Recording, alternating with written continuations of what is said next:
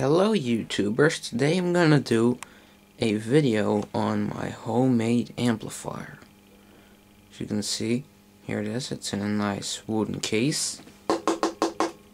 It has the controls on and off, and headphone or speakers.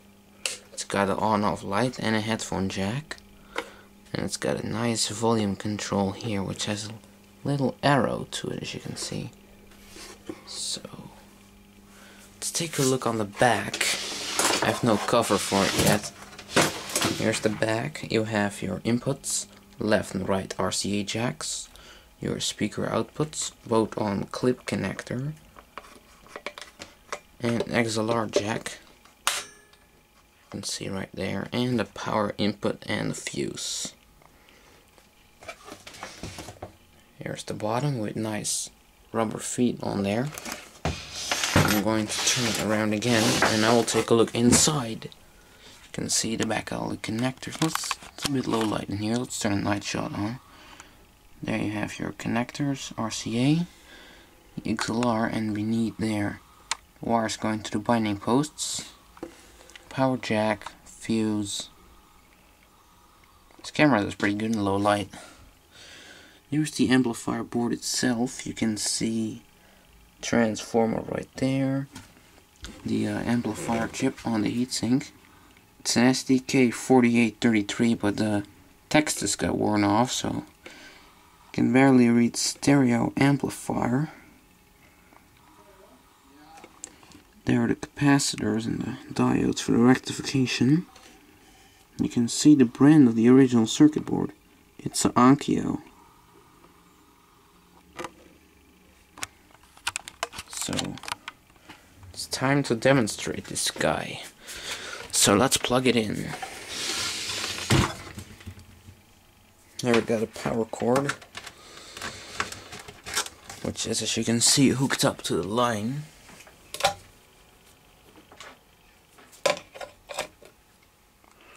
And we got our speakers here via an XLR plug.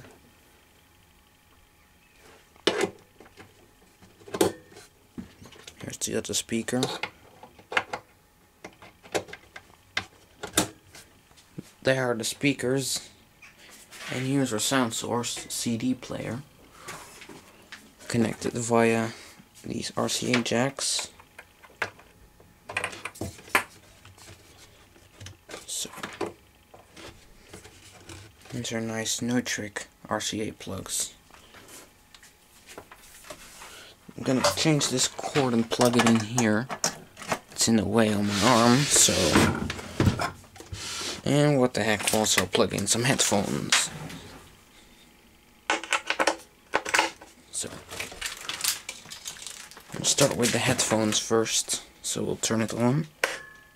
And set the switch to headphones, turn the volume down. Let's play some Rammstein here.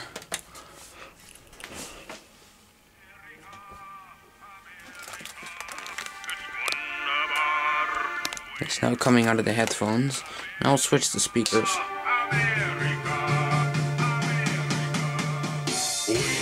See? Now comes out of the speakers. Back to headphones.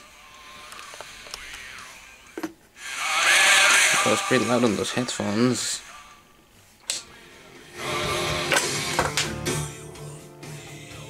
Nice one. It's a heatsink here.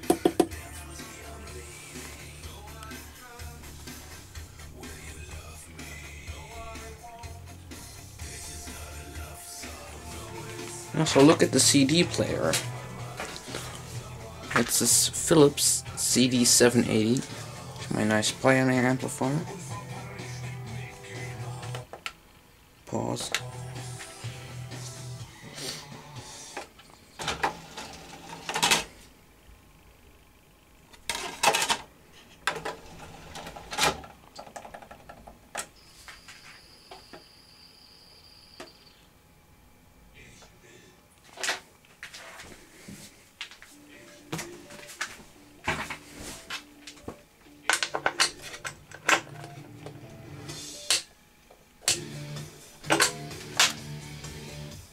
That's an incandescent bulb. So, turn it off now. Now we'll unplug it. An interesting plug. will also stop the CD player from playing. So, that's about it.